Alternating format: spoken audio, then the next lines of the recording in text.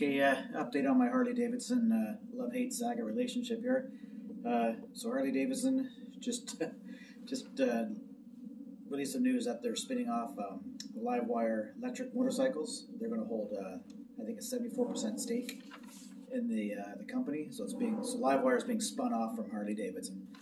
And the, the Harley Davidson Livewire motorcycle or electric bike motorcycle, whatever you want to call them uh, when they were released uh, two years ago, I think, uh, into the market, they were really expensive, like thirty thousand dollar bikes, which is way too much.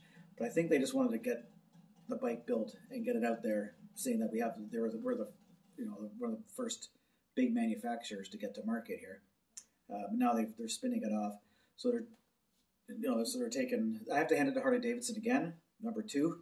Um, because it, it is a great little uh, great little bike. If I had the money, I would buy a Harley Davidson electric bike. So um, I'll hand it to him there again.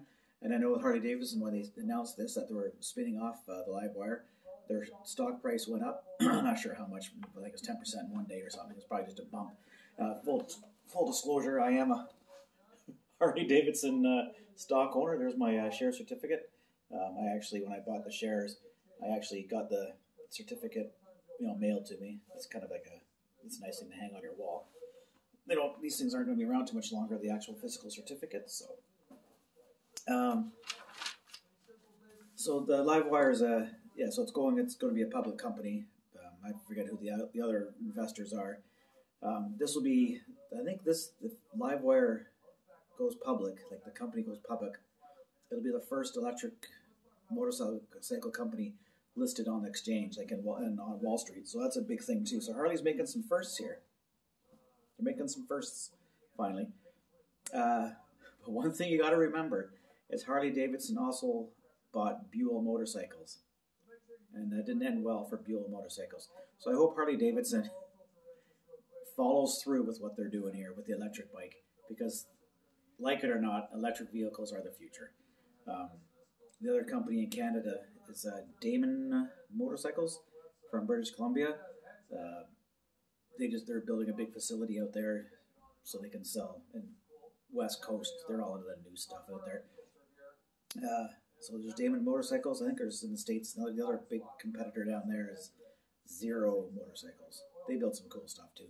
But Harley Davidson, gotta hand it to them. They're the first out of the gate, I think, and and just I hope they do it right because this is the future. Liquid cooled, it's the future now, but gas powered bikes aren't going to be around forever.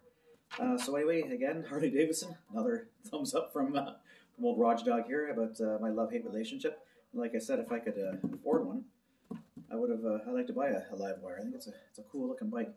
And here's my prediction for Harley Davidson too with their logo, because if you look at the logos that are on their bikes now, that gets the the bar and shield but it's empty. Like there's no, it doesn't say Harley Davidson motorcycles anymore, or it still does. But the Livewire has that bar and shield on there, but with nothing written in there.